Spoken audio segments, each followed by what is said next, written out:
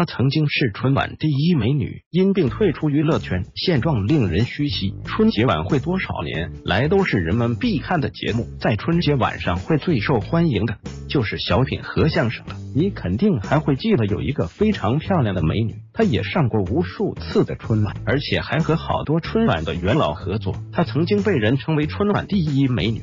她就是金雨婷。说到这个名字，你是不是感觉有点陌生？我们一起来看一下她的作品，你就会想起来她了。在二零零三年，他第一次登上春晚的舞台，就和郭冬临出演小品《我和爸爸换角色》。当时他演的是一个非常可爱的老师，当时给观众们留下了深刻的印象。这次上台真是意想不到，原本定的女主角不是她。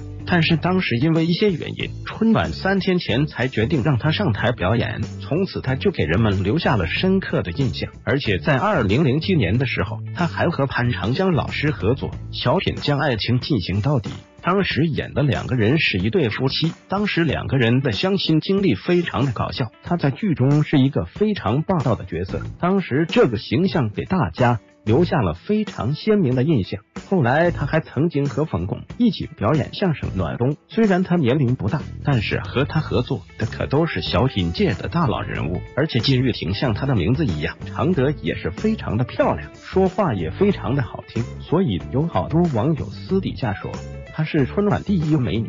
自从在春晚上露过几次面之后，她在娱乐圈中也小有名气的她，也开始有影视作品来找她出演。由于外貌长得也不错，演技也得到了公认。但是不幸的是，就在她事业即将上升的时期，不料却得了抑郁症。可能是长时间的工作压力，现实中的她是一个不善言辞的人，所以时间长了，这种情况就出现了。